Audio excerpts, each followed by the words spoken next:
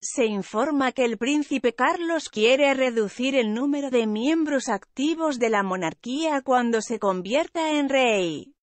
¿Qué miembros de la realeza tienen más probabilidades de ser despedidos de la firma en el futuro? Se entiende que el príncipe Carlos, de 72 años, quiere reducir el costo de la familia real para el contribuyente británico al adelgazar la firma y tener menos miembros de la realeza cuando sea rey.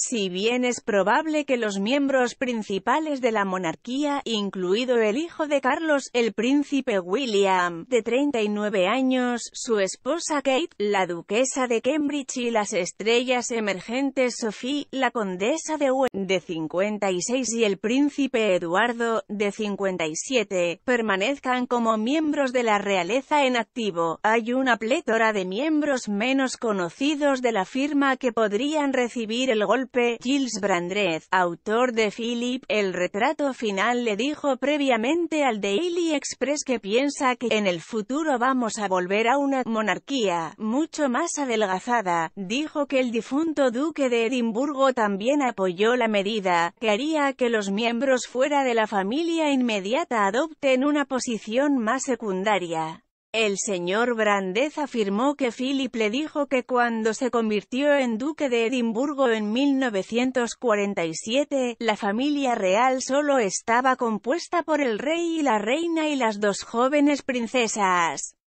Dijo, eso fue realmente. Esa era la familia real. Y ahora, por supuesto, se convirtió en algo más grande en conjunto. La biógrafa real Angela Levin ha afirmado que Charles ha querido recortar la monarquía durante mucho tiempo. Punto. Ella le dijo a Talk Radio que él quería hacerlo para ahorrar costos y hacer que las personas valgan el dinero que reciben del contribuyente. Hay varios miembros de la realeza menos conocidos, en su mayoría primos de la reina, que podrían perder sus puestos en la monarquía cuando Carlos sea rey.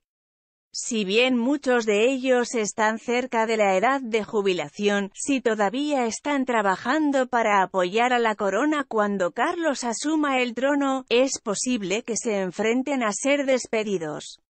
Express.co.uk ha reunido a los miembros de la realeza que tienen más probabilidades de ser eliminados de una monarquía adelgazada.